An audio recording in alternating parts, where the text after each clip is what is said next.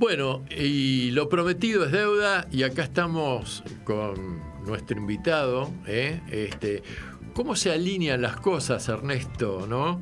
Este, porque la verdad que tenerte acá en el día de, la militancia, ni que lo hubiéramos programado. Así ¿eh? es, así es. ¿Cómo andás? Y Cristina un poquito de celosa hizo el acto para taparnos a nosotros, ¿no? Sí, pero nosotros no nos achicamos y le vamos a pelear el rating también. Además, ella es más, más tardera. Este, Me parece que va a hablar ahí con, con la noche, ¿no? Puede ser. sí, sí, sí, sí, Así que, ¿qué tal? ¿Cómo anda la cosa? ¿Cómo anda tu vida? Mi vida tranquila, muy tranquila, sí. Este, desde diciembre del año pasado dejé de tener a mi cargo la universidad, la Universidad Nacional Arturo Jaureche. Eh, me designaron rector emérito lo cual significa algunas actividades las que me, el rector actual por supuesto me, me da o tengo que ir a algún acto etcétera estoy desarrollando un observatorio de educación superior que es la temática que yo más conozco y coordino un ámbito de siete universidades, entre ellas la nuestra, la Jaureche, que es una especie de consorcio porque son de las siete, son seis universidades muy jovencitas. La Jauriche es una de ellas. La provincia de Buenos Aires. Todo el conurbano, todo el conurbano. Mira, es Avellaneda, Quilmes, nosotros, del lado sur y del lado oeste, la Universidad del Oeste, Hurlingham, San Martín y Moreno. Y entonces nos complementamos. En algunas áreas una de las universidades es poderosa, en otras áreas débil. Bueno, y con eso realmente potenciamos las cosas. Incluso ahora hemos este, armado que recién lo presentamos para que sea acreditado para el próximo año, hemos armado un doctorado en problemas del conurbano. Mira vos, qué bien, ¿eh? Por ejemplo, la Jauriche hace mucho el tema de salud, José se pasa el tema de derecho, el tema de artes Avellaneda, en fin. Eh, la idea esta de, de colaboración entre nosotros. Así que estoy metido en, en esas cosas que son parte de mi vida. Vos sabés que es muy importante porque yo este, conozco una persona que es ingeniero, bueno, ya está radicado en, Francia, en París, este, y eh, se casó con una de las hijas que, un personaje que vos debes haber conocido, que fue consejero cultural en los años 70 acá de Francia, en Buenos Aires, Philippe Graffet. ¿Te acordás de Philippe sí, Bueno, Martín, una de sus hijas, es muy amiga mía. Este, mantuvimos la amistad y se casó con este muchacho, Horacio García, que nació en José Cepaz. Eh, es ingeniero este, y él siempre me contaba de que se tomaba, se despertaba como a las 4 de la mañana para tomarse el tren desde José Cepaz de José de Paz y estudiar y venir hasta la Facultad de Ingeniería acá en la ciudad, lo que hoy es la ciudad autónoma de Buenos Aires. Sí, claro. Y que después volvía a la noche a su casa pero a altas horas de la noche. Cuatro eh, horas de viaje y de vuelta. Pero imagínate las condiciones.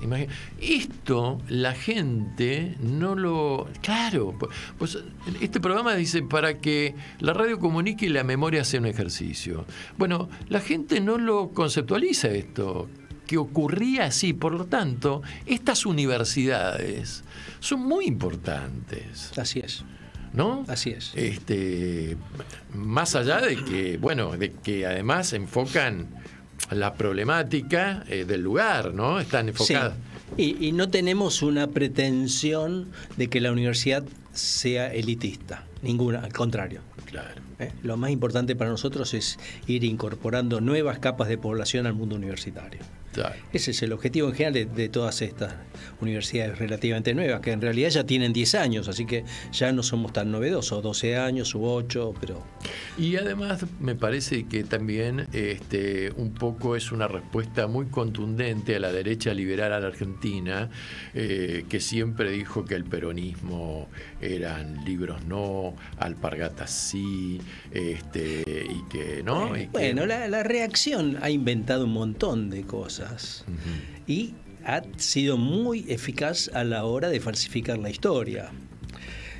A mí me impacta, ya que estamos hablando de Cristina, que, Cristina tuvo eh, noción, conciencia de que la gratuidad de la enseñanza la había hecho el gobierno de Perón recién en los años 80.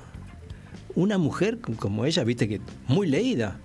Esto es, en el peronismo ese tema no aparecía. ¿Por qué? Porque fue muy eficaz el lavado de cerebro por parte de la reacción. Entonces, esto, esto de libros sí, alpargatas no, o viceversa, este, es muy un invento de, la, de, esa derecha o de ese, en realidad en el mundo universitario del gorilismo, ¿no? Muchas veces en nombre de la izquierda, hay que recordarlo. Claro, también, también. Sí, sí, sí. Derecha que a su vez este, no tiene ningún, este, ninguna moral en reducir presupuestos educativos. No, no, por, supuesto, por supuesto. Como todas las derechas del mundo, ¿eh? porque una vez hice un viaje eh, a España y entonces tomo un, tachero que se ve que el tipo era franquista o del PP o venía por ese lado, y, entonces el tipo iba conduciendo en, Cataluña, era, ¿no? Y me dice, pues hombre, me dice, pero ¿para qué tantas universidades acá? ¿Para qué? En los pueblitos tenemos universidades, y, y está bien que la gente estudie. Sería un asesor de Macri. Más o menos, estoy hablando más o menos de unos 10 años atrás aproximadamente, pero el tipo decía, no, ¿para qué gastar plata en esto? Por favor. ¿Para qué gastar plata en el futuro? ¿No? Exactamente, exactamente, ¿no? Es que la apuesta por la educación, la primaria, secundaria, la educación superior, es una apuesta a 20 años, eso hay que acordarse. Es a largo plazo. Es a largo plazo. Y es silenciosa y es silenciosa y es, yo te diría, relativamente aburrido, porque sus efectos no se ven en el corto plazo. Hay muchas veces este, los medios de Florencio Varela me preguntan, bueno, ¿y la universidad qué influencia cultural ha tenido Florencio Varela? Como yo no soy de la zona, no percibo ese cambio cultural. No, no tengo parámetros para. Pero debe haber una movida. Pero claro, en graduados, en temática, la composición de la política es diferente, el mundo empresarial es distinto, los aspectos culturales son diferentes. Claro, ¿eh? Pero eh, esas modificaciones son como gotita a gotita, no son de un día para otro. Eh, ahí sobre eso, sobre ese tema siempre Filmus tiene una muy buena comentario que es que dice, bueno, la educación no no admite revoluciones. Uno puede modificar un plan de estudio un día para otro. Ahora, los efectos de esos cambios son de largo plazo, no son para dentro de 15 días, no, son mágicos. No es como en otras esferas de la actividad humana, ¿no? Claro, claro. Eh, ese aspecto docente es como el ejercicio de una militancia. ¿no? Eh, ya que estamos hablando del día de la militancia, ¿verdad? Este, y bueno, yo te quería preguntar una cosa.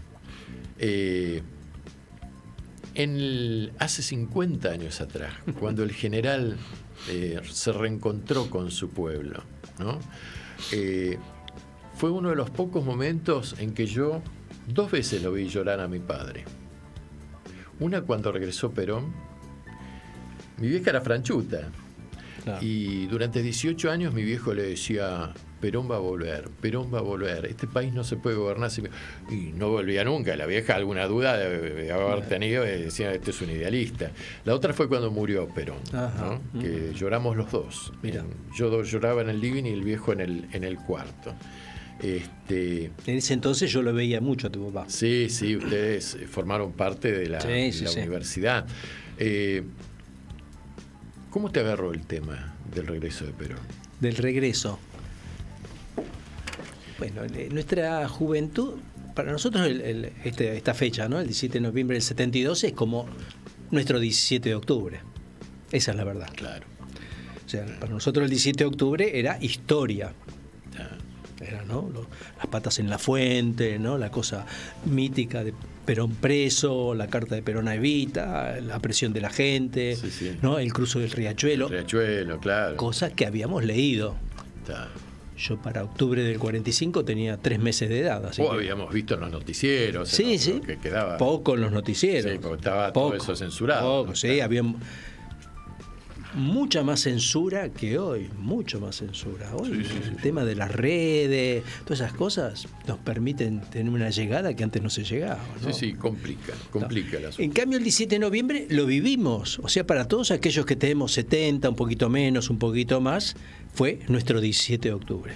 Un 17 de octubre más complejo que aquel, porque aquel fue un día de triunfo. Este 17 de octubre del 72 fue un empate, más bien fue el 18, el día siguiente cuando la dictadura le finalmente permite que Perón vaya a, su casa en Gaspar Campos, que ese es el, los días posteriores al 17 de noviembre son extraordinarios, esa es la verdad. ¿no? La gente iba a la casa de Perón este, espontáneamente. durante todo el día, todo el tiempo. Pobre Perón no podría dormir nunca. Sí, me acuerdo que salió y dijo, muchachos, por favor, déjenme dormir. claro, ahí descubrí una característica de Perón frente a la gente. Perón no le hablaba a la muchedumbre, le hablaba a cada persona. Él desde el balcón no miraba a la gente en general, te miraba a vos, a vos, a los ojos, así. Sí, extraordinario. Uno se sentía interpelado por él. No es que lo viera, lo miraba a uno todo al contrario, ¿no? un segundo, y después cambiaba. Cosa, debía haber, haberlo aprendido dirigiendo en el ejército, ¿no? Pero una cosa en donde uno se sentía que era un ser humano que lo reconocía el general. Pero ese día, el 17 de noviembre, la juventud estaba muy organizada, esa es la verdad, ¿no? Yo por ahí he leído que ese día en realidad fue la gente y las organizaciones desaparecieron y la verdad es que no fue así, no fue, no fue así. Este, nos movilizamos, yo militaba en la zona sur. Siempre estuviste en la zona sur vos. claro, porque sí, Quilmes, ¿no? Sí, sí, sí, sí. Este, militaba en la zona sur junto con un montón de compañeros. Yo tenía una inserción orgánica dentro de Montoneros en aquel entonces. Sí, sí. Este, y tratamos de que fuera la mayor cantidad de compañeros. Y teníamos, en, ese momento teníamos una suerte de capacidad de eh, absorber de que la gente eh, confiaba muchísimo en nosotros. Sí. Eso lo habíamos descubierto en Merlo en un acto anterior, que era un acto por el 17 de octubre y se hizo en una plaza perdida de Merlo. Los militantes habrán sido mil, mil quinientos. Terminó el acto y empezó a marchar la gente. Y en el camino, en los barrios se sumaban, se sumaban, se sumaban. Terminaron siendo diez mil. Mirá vos. ¿Qué, pasa? ¿Qué pasa? ¿Qué está pasando? Había un vacío político por parte del peronismo más tradicional que la juventud lo iba cubriendo, esa es la verdad. Había mucha ansia del retorno de Perón, que era, como comentaba lo de tu papá, era una cosa que era muy ansiado por los grandes, pero además era una necesidad producto de la crisis política que tenía el país en todos esos años. Era un, país este, esquizofrénico que hablaba de la democracia, de la libertad, y a la mayoría de la población no tenía ni democracia ni libertad, medio loco.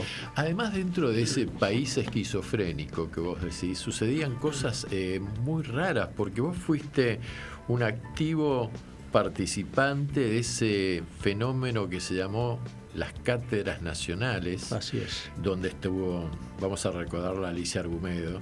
Así es. A la compañera Alicia Argumedo. Este, Fermín Chávez también me parece que estuvo metido en esa movida. Eh, y esto en plena dictadura. Pero qué, ¿Cómo fue eso? Una cosa muy rara. es que en el 66... Explica lo que fueron las cátedras nacionales, para los más, jóvenes. Te, hago la historización de eso. Sí, sí, Entre el 55 y el 66, las universidades argentinas eran islas democráticas. Había elecciones adentro. todavía. Afuera, la gente no podía votar por el peronismo. Pero dentro de la universidad, donde era la mayoría el radicalismo, sí. Mm que era, insisto, loco. ¿no? ¿Cómo era posible sistemas democráticos en estructuras del Estado y afuera no? En el 66, Onganía interviene en todas las universidades. Entonces comienza a darse un proceso en el estudiantado de lo que se llamó la nacionalización. El estudiantado comenzó a descubrir que vivía en la Argentina. Es justo eh, decir que Perón, que eso yo lo descubrí hace poco, pues ¿no? Los que hemos sido actores lo vemos mucho desde la actividad de uno y no desde una visión global. Lo vi en un libro de, un muchacho, un estudioso joven, donde cuenta cómo Perón, desde el 56, 57, revisa críticamente su política universitaria. y comienza a darse una política de acercamiento hacia los jóvenes. O sea, en vez de enfrentarse a los estudiantes como había ocurrido eh, con el movimiento universitario en su primer gobierno, el viejo dice, epa. Claro. Pero desde 56, 57, muy temprano. Bueno, los frutos de eso son de 67, 68. Claro. Yo había vivido más la del lado mío, del lado de los militantes jóvenes. Esto sobre Perón ni lo sabía, ni lo supe hasta hace muy poquito leyendo libros, esa es la verdad. Claro. Pero no fue una sola, una cosa sola nuestra, sino que el general veía esa limitación de aquel gobierno de él y empezó a trabajar. Bueno, llega Onganía, iguala a todos los argentinos, ninguno ya podía, tenía derecho a votar, hay un proceso de nacionalización de los estudiantes, hay mucha influencia de la iglesia, ¿eh? con cambios importantes por el concilio. Medellín y toda esta onda. Está el tema de los cubanos. Los cubanos muestran que la política de la izquierda del Partido Comunista Argentino es un desastre y que la tarea de un revolucionario es hacer la revolución, no es ser un satélite de la Unión Soviética. Exacto. Entonces comienza a darse un proceso de modificación de las mentalidades del estudiantado. En el área de filosofía y letras de la UBA, eh, el gobierno de Onganía pone a un nacionalismo católico muy, muy atrasado, muy atrasado. Y buscan profesores y no consiguen muchos, esa es la verdad, no consiguen. Los cursillistas, ¿no? Eran cursillistas, claro, pero, no había muchos que estuvieran dispuestos a trabajar. Y entonces no tiene otro remedio que designar a dos profesores, un cura, hegeliano él. Opa, interesante. Este, sí, Justino Farrell. Sí que tuvo mucha incidencia en un teólogo, después ha tenido incidencia en Francisco, y un profesor de historia, democristiano, recordemos que Onganía al principio pone a la izquierda cristiana en economía, a Salimey. Sí. Bueno, Gonzalo Cárdenas. Ajá. Yo fui a la primera clase de Gonzalo Cárdenas en Filosofía y Letras interrumpo. La primera clase de Justino Farrell en Filosofía y Letras, al, terminar la primera hora de las dos horas, le robaron los papeles los estudiantes. Ese era el grado de agresividad que teníamos hacia los profesores de dictadura. Sí, sí, ¿Mm? Gonzalo Cárdenas, la primera charla que da es sobre la guerra del Paraguay. Nunca se había hablado de la guerra del Paraguay en esa universidad tan radicalizada. Sí, sí, sí. sí. Muy, muy, fue un cimbronazo. Y se eh, comenzó a formar un grupo de jóvenes egresados alrededor de ellos dos. Algunos tenían una visión más teoricista, Alcira, Horacio González, por ejemplo, Jorge Carpio, y otros eran, teníamos una visión más historicista, por decirlo así. Eran como las dos corrientes. este, y en conjunto conformamos lo que se llamaron las cátedras nacionales, que era una perspectiva distinta sobre la sociología. Esa perspectiva era muy eh, tributaria de quién? De Fernando Enríquez Cardoso, de André Gunder Frank, de Jaureche, de Puigros, de Hernández Arregui, ¿eh? que no todos estamos igualmente interiorizados de todos esos autores, pero teníamos todos una actitud de búsqueda, de búsqueda. ¿eh? No teníamos la, ya la solución a todo. Estábamos disconformes con lo que nosotros pensábamos. Entonces fue un lugar en donde se cocinaba mucho el pensamiento propio y corregíamos permanentemente. ¿Qué veíamos? En lo pedagógico, bueno, este, la relación de enseñanza-aprendizaje hay que invertirla en una relación de aprendizaje-enseñanza. Claro. Más importante el estudiante que el docente. ¿Mm? Los contenidos, los planes de estudio, tenemos que revisarlo en función de nuestras necesidades nacionales, estilo Jaureche. ¿eh? El tema de la dependencia, hoy son todas palabras comunes. Era central para entender la historia de nuestro país. El tema de unitarios y federales había que revisarlo enteramente. Y, también estaba el revisionismo ahí que empezaba. Sí, pero poco, poco. Había José María Rosa, sí, por ejemplo. ¿eh? El revisionismo más de derecha tuvo poca presencia. Mm. Un hombre que incidió mucho dentro de las cátedras era Gunnar Olson, el marido de Alcir Argumedo, era un poquito mayor que nosotros, filósofo, muy, muy creativo. En el área de filosofía estaba Amelia Podetti, por ejemplo, en las cátedras, a la que se refirió el otro día Francisco, el Papa, en una, que dice que incidió mucho en él. ¿Mm? Este, bueno, entonces ese era un grupo que era, éramos un grupo muy decididos a absorber conocimientos, formas de pensar que podían servir en esa perspectiva que era muy general, lo nacional y lo popular. Y eran, eran digamos, en ese grupo había diversidad de orígenes, de, corrientes, de donde provenía cada uno, ¿no? Sí. Había algunos católicos, como te digo, Gonzalo Cárdenas, Rodríguez. Había otros que venían del marxismo. Horacio González había militado en Alcira también. ¿eh? Este, otros veníamos más directamente del peronismo. Pablito Franco, que acaba de morirse, yo. ¿eh? este, éramos, pero lo, común era que nuestras visiones estaban en suspenso. ¿Me explico? que no creíamos que nosotros teníamos la verdad de una vez y para siempre. Entonces, eso permitió que ese grupito se fuera desarrollando en otras universidades y en otras disciplinas. Había unas cátedras nacionales y populares en arquitectura, por ejemplo. Toda una perspectiva de cómo debía ser la universidad ligada a las necesidades populares, no ligadas a las necesidades de los ideos. ¿Y este fenómeno cuánto, este proceso cuánto? Poquísimo. Poco. muy poco. Yo te diría tres años. Tres años. Sí, para el principio del 72 ya nos habían echado a todos. sí, sí, sí, ya no, existíamos como tales. Claro, ¿eh? Pero toda esa perspectiva permitió que cuando llegamos al gobierno de la universidad en el 73, supiéramos perfectamente qué queríamos de la universidad. Claro. ¿Eh? Ya no en el tema de sociología o de administración. Por ejemplo, en la administración modificamos los planes de estudio. ¿eh? Una perspectiva hacia, la, hacia las pequeñas y las medianas empresas, una relación distinta entre el, aprendizaje y el conocimiento. Bueno, eso fueron un poquito las cátedras nacionales. ¿Cómo ves la situación actual y qué es lo que se viene para vos, eh, Ernesto? A nosotros, yo soy peronista de toda la vida, a nosotros nos favorece... No se nota. Tenía ciertas dudas. No, yo no puedo hacer un análisis este, escindido de mi posición política. Por supuesto, por supuesto. Este, a nosotros nos favorece el grado de irresponsabilidad que tiene Juntos por el Cambio. A ver, eh, la dinámica eh, televisiva y mediática requiere de los extremos. Sí. ¿no? Uno ve un partido de fútbol aburridísimo y los periodistas te cuentan qué extraordinario que es. Sí, y vos ves este, qué, partido están viendo. un bostezo total. Total, sí. Entonces, la televisión, sobre todo, requiere posiciones extremas. Sí.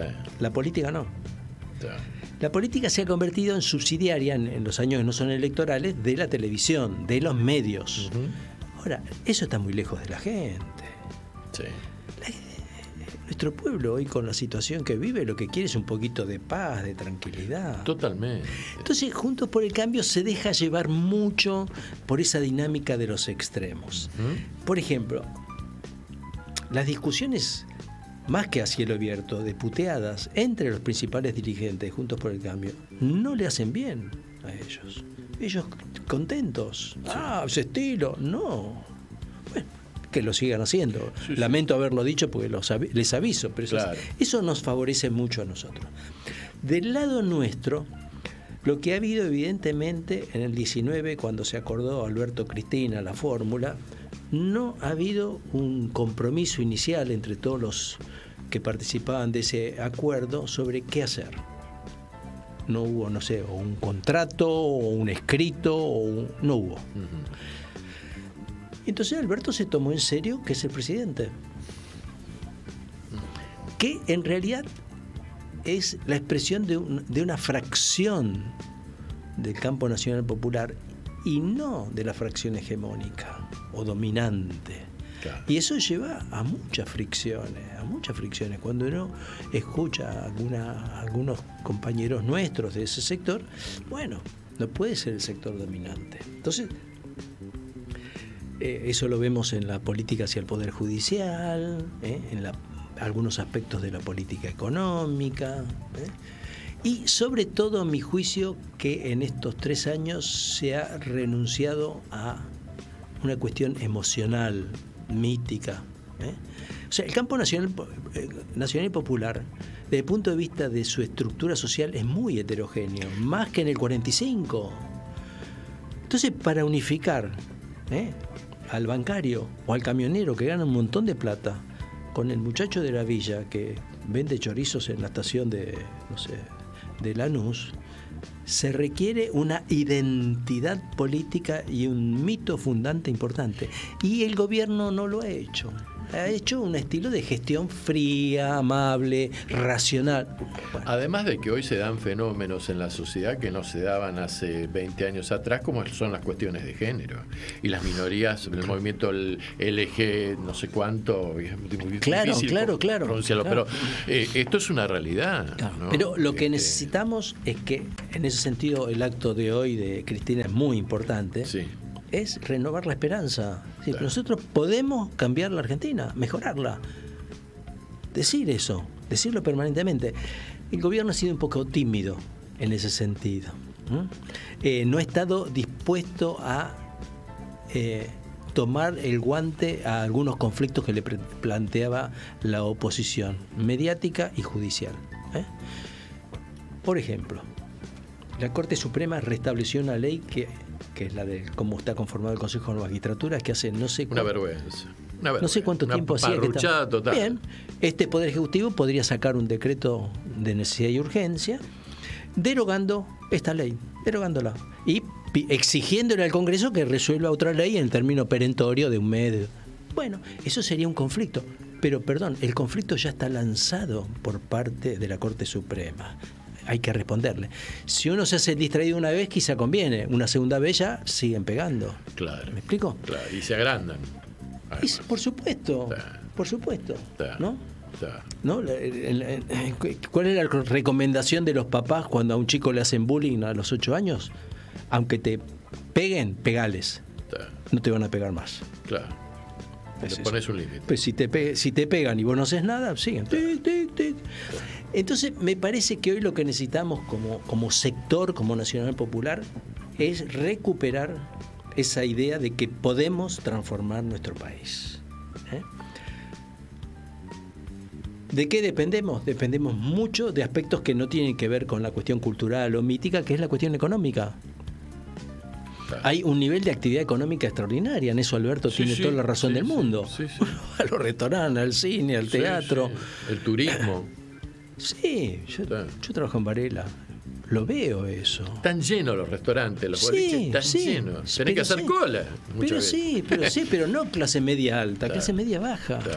Bueno, la gente se acostumbra. Pero... no puede ser que un bachero le paguen 80 lucas por mes, por ejemplo. Pero claro. No llega ni a la esquina con 80 lucas por mes. Claro, claro.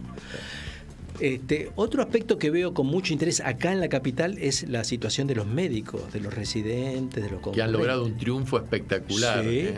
200 ¿eh? lucas. Sí, un 100%. sí, sí, sí, Después de dos meses de lucha, se puede. ¿eh? Sí, pero es clase media, a eso me refiero. Claro. Clase media. Claro. No es la gente de Lugano, clase media. Todo estudioso, etcétera, etcétera.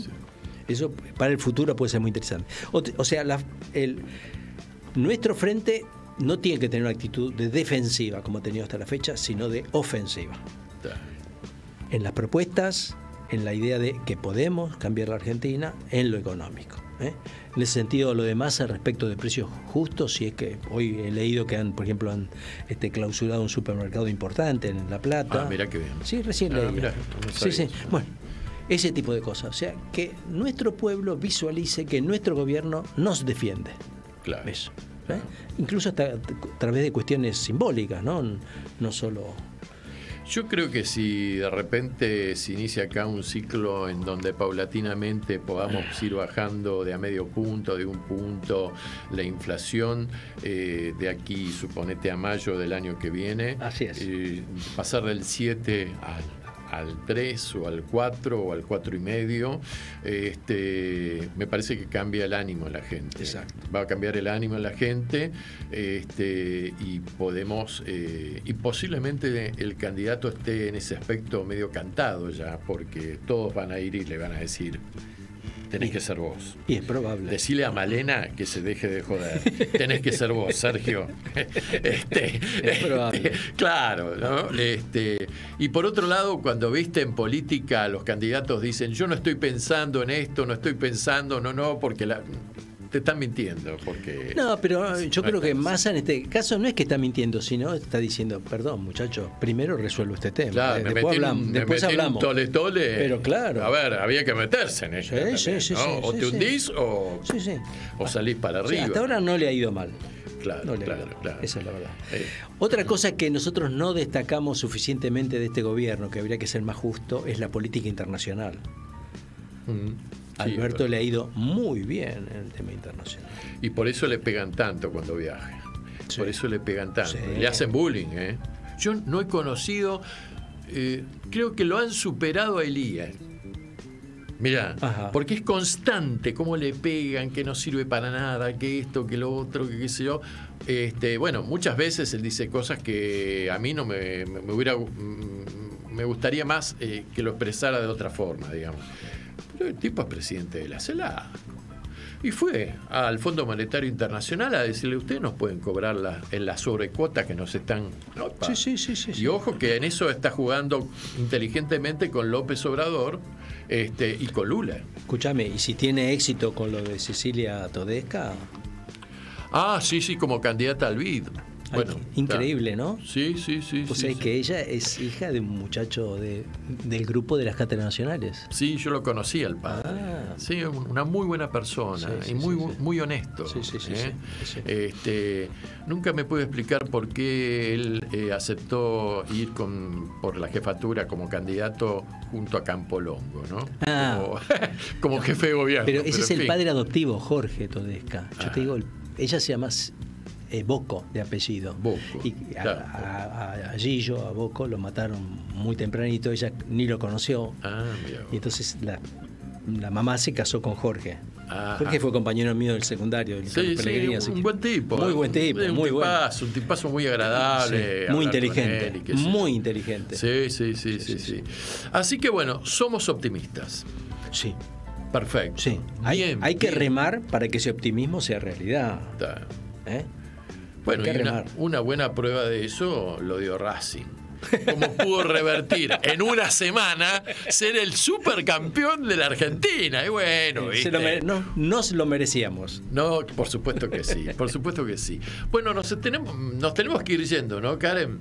Este, Ernesto, la verdad que un gustazo, un placer. Yo creo que hoy recibí muchos llamados, muchos llamados, mandándote saludos. Bueno. ¿eh? Eh, este, y después te los voy a transmitir. Bueno, te eh, y bueno, después te voy a pasar la grabación del, programa para que la difundas y la escuches este, con más distancia y objetividad. Y, bueno, y nos dejas un mensaje de que se puede repetir la cosa y de que de aquí a un año podemos volver a ganar una elección y eso es muy importante que la Depende de nosotros, a eso me refiero. Claro, ¿Eh? claro, claro, claro. Y bueno, y nosotros nos vamos, y nos vamos con música. ¿Y qué música este, nos vamos? ¿Con qué música nos vamos? Este, mira, un gran músico argentino, el mejor saxofonista tal vez que haya tenido la República Argentina. El gato Barbieri. Ah. Opa, palabras mayores. Este tema que se llama Mística, ya que estamos hablando este, del, Nada de esto es programado, ¿eh? Todo va, va encajando como un Lego esto, ¿eh? Este, nos, nos, nos despedimos entonces con el gato Barbieri y Mística. Y, bueno, y contigo estamos en contacto permanente. Vos nos escuchás así. Sí, sí, sí, sí. ¿eh? Así es, siempre. Bueno, genial. Bueno, señores, fue el señor Ernesto Fernando. Así es. O Fernando Ernesto. No, no, Ernesto Fernando. Ernesto Fernando Villanueva. Quien tiene un récord fue el rector más joven que tuvo la Universidad de Buenos Aires en toda su historia. Así es. ¿Eh? Y se lo ve todavía muy joven y vital. ¿eh? Así que vamos todavía, por varios años más. Bueno, muchísimas gracias por la invitación, Martín. Bueno, por favor, un placer. Igual.